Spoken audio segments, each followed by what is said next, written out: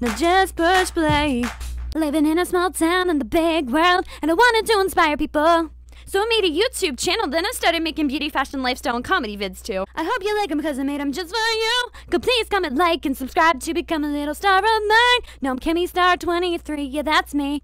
It started with a video that was uploaded on YouTube. The effect caused smiles on people's faces near and far around the world, and that was my dream plan all along. Thanks for watching, subscribe, like, then comment down below so I know you're a little star.